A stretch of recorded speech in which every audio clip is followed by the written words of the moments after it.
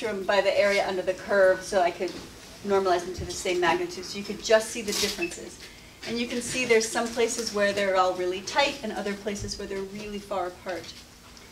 This dotted spectrum down here is just the average of those. It doesn't mean anything except it's like an average of uh, 13 different cultures. But what's more interesting is that if you calculate the standard deviation spectrum, at, so it's a standard deviation at each wavelength, you get the standard deviation, or in this case, the variance spectrum. And so where that's very high, that's in areas where you have very big differences between. And so those would be areas for which you have a broad diversity of pigment composition. And so those might be areas in the spectrum where you might look to see phytoplankton with different pigment composition. So, um, and then if you know where, which pigment uh, absorbs where, you can identify specific features. And I also mentioned to a couple of people that if you take an absorption spectrum and you calculate the first derivative, dA d lambda, where you have a peak, obviously the grade, the um, derivative will be zero. And so you can use that to help you identify where shoulders are and where peaks are and the, the actual location of, of specific pigments and where they absorb in the spectrum.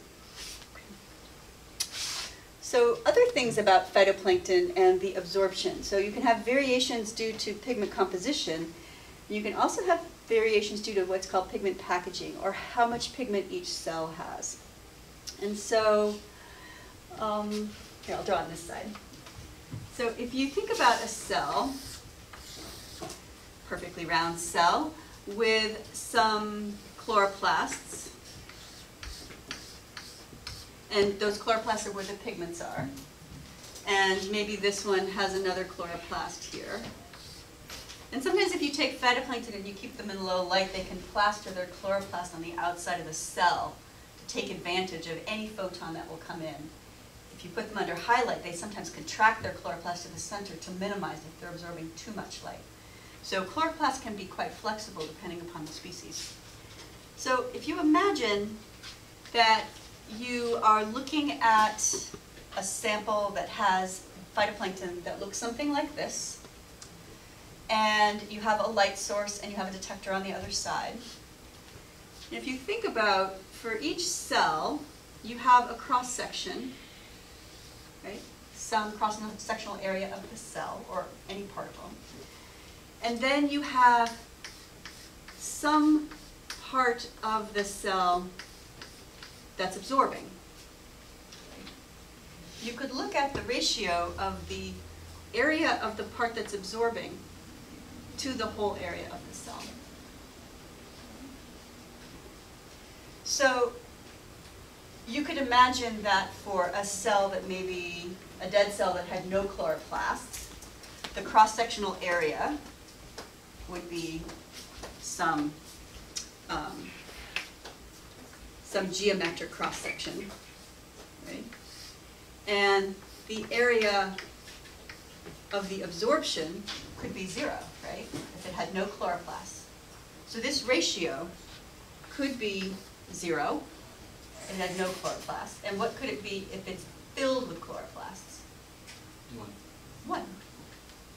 So this ratio is going to vary from zero to one. So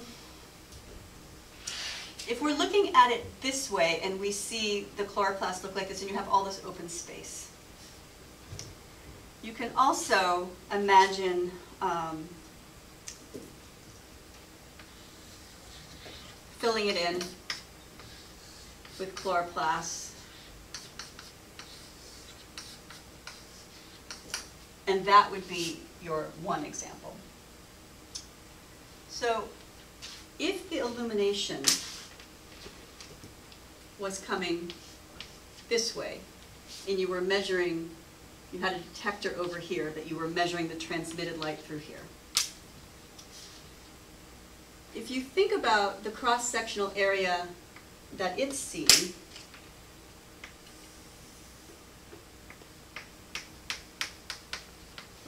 It's seeing a cross-section this way through the plane. So as light comes in, part of it will get absorbed by this chloroplast. Part of it will get absorbed by this chloroplast and this chloroplast before it even gets to the plane of the cross-section that you are looking at. And then part of it is absorbed by the material behind it, all the way to the end. So in fact, the path length going through this cell is going through a lot of chloroplasts. So the amount of light that comes out the other end might be that much. It could essentially absorb almost all of the light impinging on the cell. You have a very high absorption coefficient.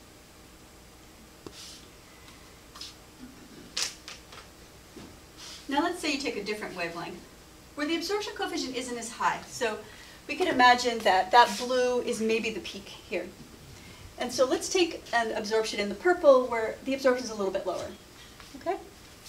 So if we're in a cell that maybe has a couple of chloroplasts, the blue light maybe gets absorbed here, but here, you know, maybe it makes it through the other side, so you have quite a bit of detected light coming through. If you look at the purple, which might be a different wavelength, you won't have as much absorption by the purple. But here, even though the absorption coefficient is lower for a cell, again, it's going to have to go through all of these chloroplasts. And so even if it didn't get absorbed by this chloroplast, because it has a lower probability of absorption, the chances that it makes it out the other side still really, really low.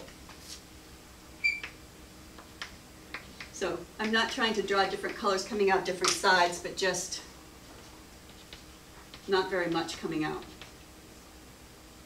Whereas this one has more light coming out and the absorption is less. So if I look at this absorption spectrum, here I have low absorption in the UV, high absorption in the blue. If I look at the absorption coefficient here, I have high absorption in the UV and high absorption in the blue. Because even if this blue light got absorbed here, or here, or here, or here, or here. It doesn't matter. It didn't make it out the other side. And the same thing is true for the purple. Because there's so many opportunities for absorption in this packed cell that has this very long path length. And so the absorption in the blue versus the purple is not very different. And so even if we then look at the green, green. Oh, I do have green. Okay, so we can shine some green light on there. Even though the absorption coefficient in the green is typically very low, when you have so many opportunities for it to be absorbed by the cell, you still, maybe you get a little bit more light out. But here, you get a lot more light out. So the absorption in the green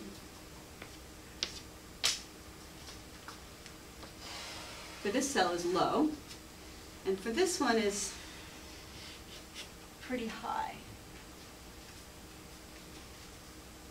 And it's because there's, there's so much material packed in this cell that regardless of the wavelength, if there is any absorption at all, by the time it makes it through this big cell packed full of chloroplasts and pigments, most of it is absorbed.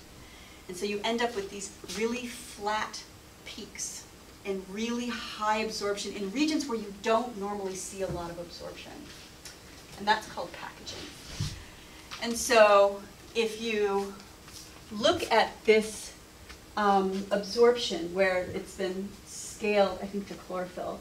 But the point is that the shape of the spectrum, where it's very peaked versus where it's very flat, the shape of the spectrum gives you an indication of how much absorption potential is in the cell occurring along the path through the cell. So here, there's plenty of open space where there's no absorption. So it might get absorbed by a chloroplast, but if it makes it around that chloroplast, it's just going to head right to the detector. And here, there's just nowhere to go, so the light gets absorbed. So we can think about that, so this would be a large cell with two different amounts of pigment per cell. That's what this case is, a large cell with low amounts of pigment or high amounts of pigment. And what would cause that? What causes cells to do this? Nutrients, so you can limit um, the amount of pigment per cell if you limit them by nutrients. Because chlorophyll, for example, is really rich in nitrogen. That's one reason. What's another reason? Photoadaptation. Photoadaptation. If the cells are in really high light, they're going to try to minimize the amount of light because they have too much light, it just gets re-emitted as heat and it damages the cell. So if you grow them in low light, they'll pack on pigment, either make more chloroplasts or make bigger chloroplasts or make chloroplasts that have more pigment in them to try to maximize um, the amount of light. Certainly not the efficiency, because maybe this photon gets absorbed here and this chlorophyll never even sees it. So they have tons of chlorophyll that never even sees light. So the efficiency per chlorophyll is low. The efficiency per cell is high. So phytoplankton balance that out. But, um, so that example is like the bottom example. Now, if you look at the difference between a small cell that has a lot of pigment in it and a big cell that has a lot of pigment in it, which one is going to have a more packaged spectrum? So think about light going through and think about the path length versus the path length. The large cell will be more packaged because, you know, you have a certain opportunity for absorption. And this cell has almost three times the probability of a photon being absorbed. And so it will necessarily have a flatter absorption spectrum compared to a small size cell with the same internal cellular concentration of pigment. Small cells don't package as much as big cells. So when you measure absorption spectra and you see one that's very peaked and one that's very flat, you can, you can begin to suspect a couple of things. Same size cells, different photoacclimation. Or same photoacclimation, big versus small cell. And you don't know, you have to look for other evidence. Did you collect them at different depths? Did you filter them through different filters? You could begin to see different sizes. But the shape of that spectrum gives you a lot of information about packaged cells. Okay, so that will change the shape of your absorption spectrum. Okay? This is a complicated um, concept, so you might have to think about it a little bit. And I always encourage people to go back to the original paper, um, but you know, feel free to ask questions later after you've thought about it a little bit, or now. Um, why else might you see a flatter spectrum? What other environmental variables or constituents might be present that could I mean, really what has to happen is you just have a lot, uh, a large opportunity for absorption with, with rare opportunity for photons of any color to actually make it out. So big cells um, that have a lot of pigment are the most packaged. Small cells that are really a lot of pigment can be somewhat more packaged. You know, comparing this and this, it really depends. You could end up with almost the same spectrum of, say, a small packaged diatom and a large unpackaged diatom. They would have similar pigment composition and might have similar packaging if you look at the absorption per path length through the cell. So it's it's not a unique thing, but um, but you can begin to at least see what might cause some variability. Okay, so um, Annick Bricaud and colleagues um, looked at how you could begin to characterize the differences in the shape from a very peaked absorption to a very flat absorption, and came up with a really nice model to to estimate a um, a flat absorption spectrum compared to a peaked one. And what she noticed was that if you go to the open ocean gyres, where the nutrients are really low, and because the nutrients are really low, the cells are really small, because small cells have a uh, diffusive advantage in low nutrient waters. Small cells don't get packaged. So, um, and the low nutrient parts of the water are low biomass. So, when you have low concentrations of chlorophyll in the open ocean gyres, because it's nutrient limited, small cells like low nutrient or can live in low nutrients, and small cells don't get packaged. So you could say that you can tend to find very peaked absorption spectra in the open ocean gyres. Can you give an example of small size phytoplankton? Two microns, one micron, cyanobacteria, um, picoplankton. Well, is definitely larger. Definitely big. Um, So, in the um, divergent gyres of the ocean, like the North, North Atlantic or coastal waters, there's lots of nutrients. Large phytoplankton have a competitive advantage because they can take them up quickly and store them and um, grow quickly. And so, in those regions of the ocean, you tend to have big cells that grow to high concentrations because there's lots of nutrients. And big cells tend to be packaged. So you get this covariability between small cells and large cells, low nutrients and high nutrients, low biomass and high biomass.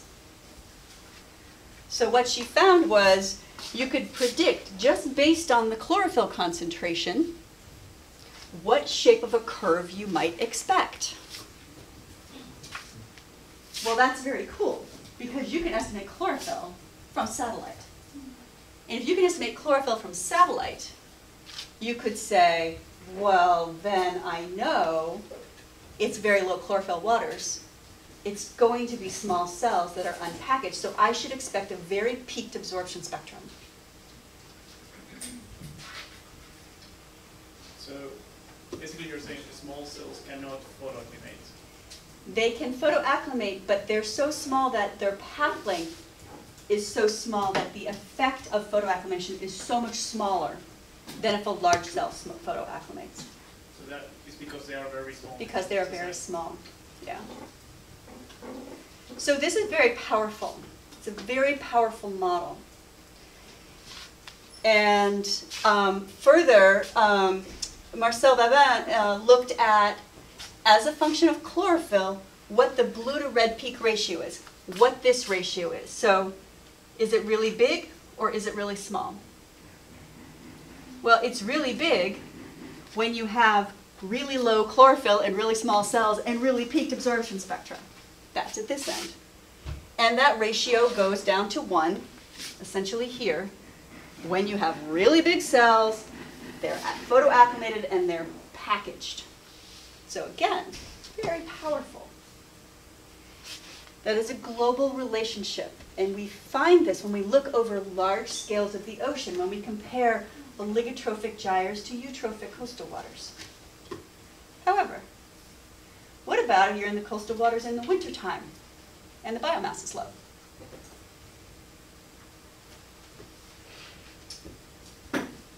You may or may not have big cells. In the Gulf of Maine, we have big cells in the wintertime. We just have low concentrations of them. And they tend to be light limited because it's the wintertime. They tend to be very packaged, but they're low concentrations of them. And so you have to be very careful with this model and models like them because you would predict based on low chlorophyll that you would have this very peaky absorption spectrum associated with small cells. Okay, so looking at the packaging and looking at it as a function of global relationship, you just have to be very careful when you look at relationships like that. If you're looking over the globe, this is beautiful. This predicts 90% of the variability in the ocean. But be aware, big cells are big cells, and it doesn't matter if there's low concentration of big cells, they still can package, even in low concentration. So parameterizing their absorption spectrum just based upon the concentration of chlorophyll in the water. You just have to be a little careful. We're going to return to this because those global patterns drive a lot of the relationships that we see in scattering and absorption and particle size distribution. Yeah, Manuel? You want to say something about what you call small cell lymphoma? Yes, I do. So picoplankton, I think Ivana is going to talk about this. Picoplankton is less than two microns. Two to twenty microns. Nanoplankton.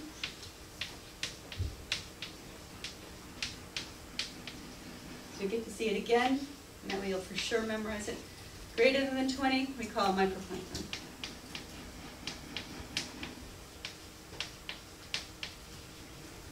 Diatoms tend to be in this size range. Cyanobacteria tend to be in this size range. You can find diatoms in this size range.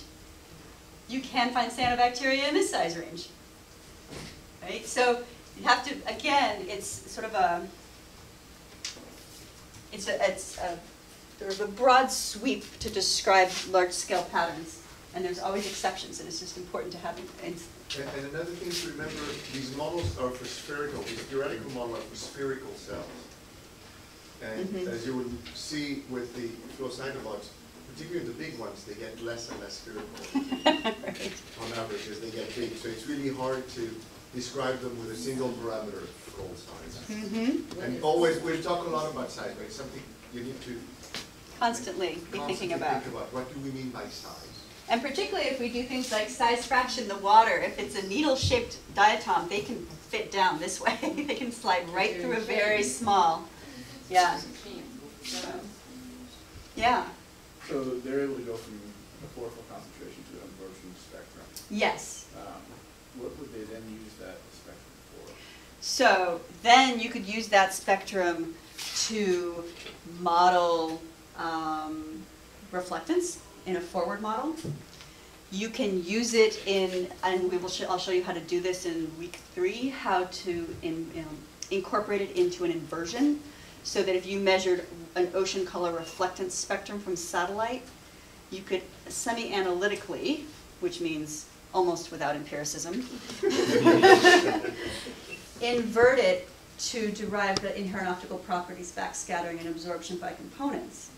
And so you could say, well, does it, does, when I take this ocean color spectrum and I break it into its absorption and backscattering components, does my absorption look more like this or more like this? Or more like this shape or more like this shape? Oh, it looks more like this shape. Oh, they must be small. Does anyone ever go in the other direction? Yes, in Hydrolight. You can take this model and forward model. I have a chlorophyll concentration of five. I wonder how different the reflectance spectrum would be if I packaged that five milligrams per meter cubed in one micron cells or 30 micron cells. And you would get very different um, ocean color uh, spectrum depending upon how you packaged the chlorophyll. So yeah, you can use that model in the forward direction. Estimate chlorophyll from the- the shape of the absorption? You could also estimate chlorophyll from the shape of the absorption spectrum because we, um, this is actually absorption normalized to chlorophyll. And so if you measured absorption divided by your chlorophyll concentration, you could then say, well, I could guess my chlorophyll concentration based upon, you know, which shape of the curve, or what would be my uncertainty if I estimated. Yeah, Ivona. One other thing, important thing, you know, think about what is this telling you. Tells you how much of the light will that algae be able to absorb? What are they gonna do with light? Gonna take it in pockets? What are they doing with light? They're gonna synthesize, you know? And that's the way you can get really truly, true, give you a good idea about the brine productivity. You will know productivity, because you're gonna calculate the carbon, you know, drawdown and so on and so on. So once you can retrieve this stuff from the remote sensing using some analytical algorithms, you can actually build or use par- parallelly develop current productivity models to get a good estimate of the carbon drawdown and carbon production. So it's connected, you know, biology, physics, chemistry. Think about this not just as a function of, this is the measurement of absorption, but what is it, it's absorbing light, you know? What is it doing the light? Put it back into the biology. Um, And if you could, and if you can identify small versus large cells, they have different photosynthetic efficiencies and different growth rates. So now you can put that into your biogeochemical model and, and compare the differences in carbon fixation rates. It's incredibly powerful. When you get to running Hydrolight next week, it has defaults for any input. So there's an option, for example, that says, well, I'm just gonna put in a chlorophyll of 0.5 or five, whatever, and then use those Bricaud spectra to get the absorption as a function of wavelength, and then I'll see what the remote sensing reflectance looks like, and so on down the road. So you'll be seeing all this kind of stuff over and over again, uh, whether you're doing biology or you're doing radiation transfer theory or whatever, this all gets used by everybody. Yeah. And it's not the only model. There are a number of other models that partition into different sizes and uh, partition by pigmentation. So this is just one example, is the early, one of the earliest examples of trying to understand um, how cell size translates into variations in the spectral shape of absorption. So we'll give you some examples of that. Yeah. How do I know that what I'm seeing is actually an artifact of the properties of the phytoplankton and not some problem with my atmospheric correction or something else in the Um, so when you say artifact of the phytoplankton, do you mean I mean, variability a of the, function of a their- function of the variability of the phytoplankton? Yeah. Well, so where are you least certain in your atmospheric correction? In the blue, right? That tends to be the area of largest variability where you tend to see negative radiances and it, it tends to be tough in the blue. And of course, that's where we're interested, that's where most of the signal is. So then you think to yourself, well, maybe I'll move to the red. And then of course, that's where water dominates, right? So what you are actually kind of stuck with is this area in here. And so you sort of look at ratios, and this is exactly what most of the band algorithms are looking at. It's the ratio between here to here or here to here, right? And so if you're looking at a, a band ratio, even the chlorophyll band ratio, which I think Kurt's going to talk about, or one of us talks about, you know, you look at the ratio due to this phytoplankton between two different bands and then this one. So you can have that much change in absorption for the same chlorophyll concentration. And that just comes out in the wash of the NASA algorithm, right? When you see the variability of the curve of the band ratio and all the scatter of the data points around it, that's this. So exploiting this is the next step. You might use the NASA chlorophyll algorithm to give you a first guess of chlorophyll, and then you see a variability, and you say, okay, am I always above the line? Am I always below the line? Well, what does that mean? Maybe I always have packaged phytoplankton. And so that would allow you to begin to explore that relationship and how it fits for your area. So anytime you don't get a match, it's an opportunity to dig deeper. When you get an answer and it matches, like that's just boring, really. It's time to like move more. Yeah. This is, for nomenclature's sake, we call these type of models bio-optical models. So you see a lot during this class, people refer to them as bio-optical, because it's a, it's a, an optical model, so to predict absorption and optical property, but using a biological or biochemical parameter, in this Mhm. case, chlorophyll. Mhm. Yeah. Okay. All right. Uh, phytoplankton aren't the only fish in the sea, and they're not fish at all. Joke, see if you're awake. Um, these are absorption spectra of ciliates and flagellates, so heterotrophs. They tend to have a peak here around 412. That is the cytochrome 412, which is um, a cytochrome that's in mitochondria, is responsible for respiration. So there's actually an absorption peak associated with that. If you have a bacterial bloom in the ocean, you sometimes see this peak, and you can estimate the concentration of bacteria from the height of that peak. And you don't want to swim in that water. because it's nasty.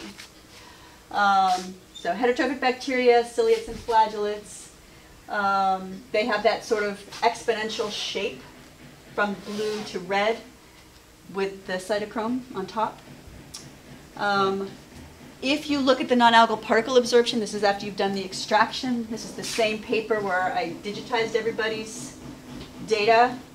I looked at the published mean, which had a flatter slope than CDOM. Okay, um, Yeah. Go back one slide. Yes. Um, So comparing to the absorption, absorption of chlorophyll, what is the magnitude of this one? Like, do I see signals of this You cytochrome can on s- spectral? You can see this when you don't have a lot of phytoplankton and you do have a lot of bacteria. And your bacteria are healthy. um, so, you know, dirty water. But Sewage it goes to plumes. waters- Sewage plumes. Yeah. yeah, E. coli. Yeah.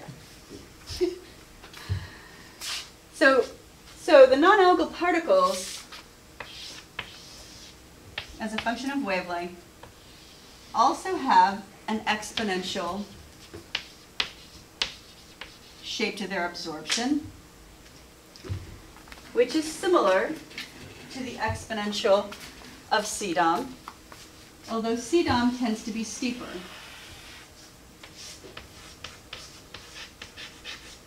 So the slope here is about minus 0.018.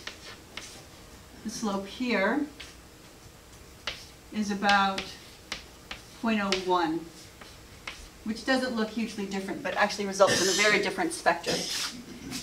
And so I again compared this with um, Marcel's work in the European coastal waters, and again, for his 300 samples, for I don't know how many samples I had, very different technologies, um, decades apart, and again, the means of the slopes of those spectra are very robust and significantly different from CDOM. So, although they have a similar shape, there is a very big difference in slope. And it seems that if you begin to look at, if you think about what these materials are, the organic part of this non-algal particle is organic particulate matter that could be living or dead. This is the degraded, dissolved fraction that was once particulate matter. And so you can imagine that you're looking at a biogeochemical transition from particulate to dissolved. And you're seeing a transition from a flat slope to a steep slope. And so if you look at the variability in the shapes of these curves, it can again begin to tell you, give you a little bit of information about the biogeochemical processes occurring in the water. From something that's sort of freshly dead to potentially something that's more degraded. And so there's a lot of information in this slope. So if you make good quality measurements, you can interpret the variability in this slope and look at its spatial and temporal patterns. It's qualitative, it's proxy, yeah. Uh, This scattering versus wavelength uh, profile is just a mirror image of that, right?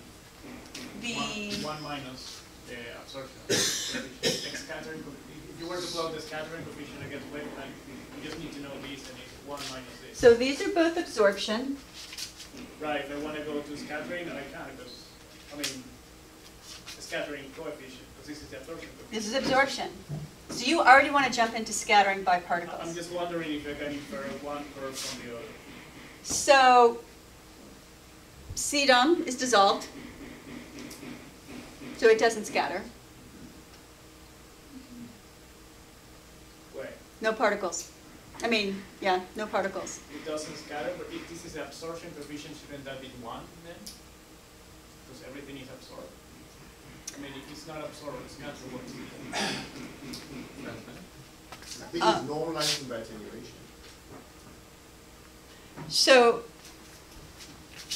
if we think of attenuation as equaling absorption plus scattering, right? Yeah, that's what I mean. For CDOM, attenuation equals absorption. Yeah. And scattering equals zero. For non-algal particles, it depends on their size. But but B does not equal zero. For particles. It depends on their size, it depends on their composition, and we'll get there on Thursday. But you can tell the difference. If you have yellowish water and it's turbid, you've got scattering, so it's probably this. If you have yellowish water and it's clear, it's this. Is that the question? Let me, think about it. Think about it and ask again. Yeah, Emmanuel. So, what, what Collin is presenting is the consensus. There is, however, there's work now based on inversion, not direct measurement, where people claim that CDOM does scatter in a significant way. Nobody has ever measured it, but you'd see it as a proposed Mhm. thing. There's particular work by uh, where he does inversions of scattering matrices, and the only way he can explain it using his model is by inventing particles that are really small. That's his explanation. But nobody has ever measured it. So just so you be aware. I mean, what Collin presenting is the consensus. It might be that in two years we'll say, well, We were we wrong. not, we were wrong. We now believe it does scatter significantly. Nobody to date has convinced us that it does. Well, but you can get, so CDOM is such an operational definition. It depends on your filter, right? So some people filter through point two, some people filter through point seven. There are colloids that are submicron particles that will be in those fractions, and they can be created and destroyed quickly, depending upon chemical, the chemical environment. A 0.7 micron particle is going to scatter light. Okay, so when we say CDOM doesn't scatter, well, most of the time. As far as we know. As far as we know, we have not measured it. But that doesn't mean that you won't measure it. I, I think another way to look at this is, first of all, there are no dissolved substances. Everything is a particle, mm-hmm. right down to the size of water molecules. Well, water scatters significantly. It's a bunch of particles that scatter significantly. CDOM's also a bunch of particles, it's just big molecules with molecular weights of like eighty thousand as opposed to thirty-two or something for water. So it does scatter, for sure. The question is, well, is it significant? Well, there's not enough CDOM molecules to really matter for how much scattering they do compared to how much absorbing, should, absorbing they do. But of course, if you put enough CDOM in there, you're gonna eventually have enough molecules that the scattering by those CDOM molecules will some start showing up somewhere or another. But they have to be, not only do they have to be a lot of them, but they have to scatter more than the water molecules that they replace. Right, and so the consensus has always been that, yeah, CDOM might scatter a little bit, but compared to all the other things, water and chlorophyll and so forth, it's just totally negligible. And that's kind of where it stands at the moment.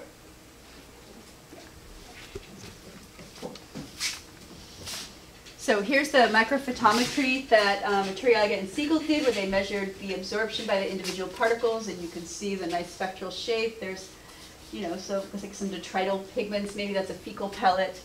Um, uh, Norm Nelson did some work where he looked at phytoplankton, and then he put the phytoplankton cultures and bleach them with really, really strong light. So photo bleach them, a um, and you can see that the pigments get oxidized and bleach out, and you're starting to um, sort of evolve into a detrital or non-algal particle absorption spectrum. So that can happen as you bleach out your pigments. So it tells you a little bit about what's in the water if it's organic. Now, non-algal particles, remember, are all the particles minus the pigment. So it also includes inorganic particles. And it turns out that inorganic particles also have this sort of exponential shape, except maybe a couple of features in here. So this is some work by um, Marcel and Dario Stramski, looking at Saharan dust and some sediment that came in in Spitsbergen and an Australian sample. And you can see that they also have this strong absorption from blue and very small in the red. Um, Patterson measured, did the same measurement in, of Saharan aerosols air, so airborne um, part, uh, particulate matter. In 1977, this is on a log scale, so the exponential becomes a line. But you can see that all of these inorganic particles also have this strong blue absorption and weak red absorption, just like organic material. Um, Meg Estapa, who was a student here and graduated, I don't know when, um, close to here, she was measuring suspended sediments and noticed that even in the more mineralic sediments that she had, that there were some of these weird shoulders. She did a derivative spectrum, so you could see these very strong features in the derivative. And it turns out that where those peaks occurred are the um, wavelengths at which um, the iron oxides, iron oxidized minerals go through a state or a phase, a state transition when they're changing the, um, the valence charge on the iron. and so she used this, these, the, the difference between these two peaks to estimate the iron concentration of the mineral particles due to absorption. I know, again, there's so much information in the absorption spectra. And so anytime you see these features, you just don't know what they are. And everyone thought this was organic coating or something. This was not organic coating. She removed all the organics. It's due to iron oxide. So, so that's what's in your non-algal particles too. Organic and inorganic, living and dead. So don't call it detrital particle. Don't call it detrital matter. You see in the literature a lot of time, A sub D, A detritus. It's not detritus. The living viruses are angry at you for doing that, and the bacteria, and the zooplankton, and the inorganics. So it includes all of this stuff. So to model the impacts of absorption, you just add them all up. These are open ocean waters with mostly water. These are coastal waters with some CDOM in them. Here's some phytoplankton-rich waters, which have like really high absorption and even pigments that you can see very clearly. And so by adding them all up, you can figure out what's in the water. this one's water, this one's CDOM, and this one's phytoplankton. So the shape of the absorption tells you which constituent is dominating. And we'll refer, re return to this paper, Morel and Prieur. It's one of my favorite papers in the world. Um, so it will we'll spend a lot of time looking at the absorption spectra and how that plays out in ocean color. And so you'll get more in absorption. You're going to hear about phytoplankton absorption tomorrow. We're going to measure absorption, talk about measuring absorption. We're going to measure absorption. They become absorption. We will be absorption. You will be absorbing absorption. And then this will be um, the dissolved, this will be the particulate. So more absorption to come. But if you have any questions, just ask, now or later. So, um, both inorganic and organic showing the similar kind of spectra. So how to separate those two spectra? So that's the $64,000 question. So sometimes you can have luck by measuring the particles, extracting the pigments, measuring it again, and that's your non-algal particle. And then you can put your filter in an oven at 500 degrees C and burn off the organic matter and measure it again. The problem is that sometimes the mineral particles are coated with organic, and so your absorption goes up after you burn off the organics because now you're exposing the underlying minerals that weren't a part of your original absorption. So there you go. so it depends on it depends on your environment. I've I've gone through that.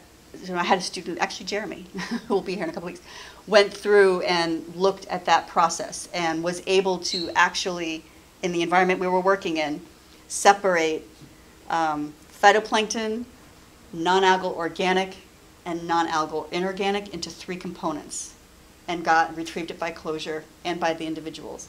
And then you're like, great, we've got this great method. You go somewhere else, just doesn't work. So And some people look at, Meg looked at using a chemical oxidizer, but it's the same thing. If you've got a piece, if you've got a grain of sand and you cover it up with organic, if you burn off the organic, that optical property of that sand was not part of your original absorption. So, can't help you. If we don't. It's a great any- idea. Yeah, if we don't have any field sample, then it's really hard to say like, suppose only. And even if you have a field sample, you can look at it and it can look like nice grains of sand, but they can be grains of sand coated with organic matter. And so they absorb like organic matter. Turns out they're going to scatter like inorganic. So sometimes if you do scattering and absorption, you can separate that out. Yeah. Okay, introductions, right? Good. And goes the, uh, Andrew stuff, the, Oh yeah, we're not going to post your